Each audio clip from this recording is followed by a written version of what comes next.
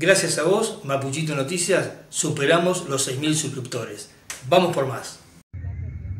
Bueno, como pueden apreciar, hermoso atardecer aquí en la comarca Viedma Patagones, imágenes de nuestro río Negro para que ustedes puedan disfrutar. Eh, por un lado ven las motos del lado de Patagones y por el otro lado van a ver también el catamarán recorriendo el río Negro.